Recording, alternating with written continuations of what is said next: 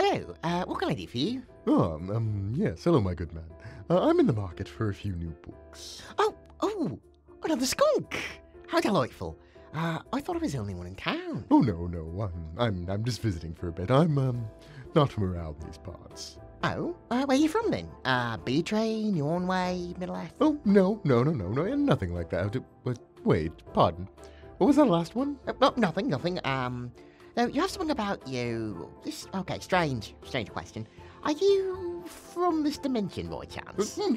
What? Of course, of course not. I, I don't know what, what you're implying. Sorry, sorry, sorry. Don't mean to pry. Don't mean to pry.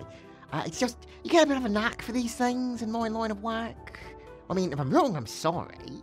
No, no. Uh, you're not incorrect, I suppose. Um, I suppose there's no use in keeping up the charade if you've sussed it out on your own. So, how'd you get here? Was it a magic mirror? Oh, maybe a wardrobe. Magic? Oh, no, my dear Muffin. Uh, there's no such thing. Well, mm, eh, mm, eh. I might beg to differ on that point. Uh, just last week, I had brunch with a hippogriff. Really? Hmm, that's fascinating. Perhaps there's some kind of mm, other science in this world that's beyond our understanding. So you see it as magic. Well, maybe. Perhaps you just understand magic so well, you call it science. Well, ultimately, those are the same when you get down to it. I suppose.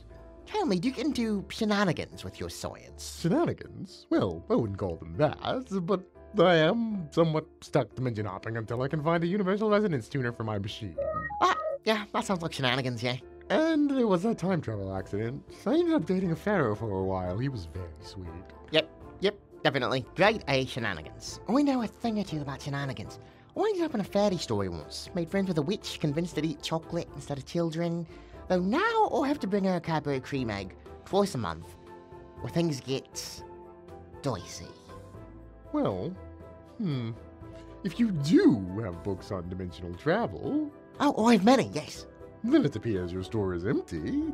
Uh, perhaps you should retire and trade these shenanigan stories whilst I fix my machine? Uh, uh, uh, really? You, you just want to talk for a while? Well, of course. You seem a good fellow. Is that strange? Uh, uh, no, no, that's, that's not strange at all.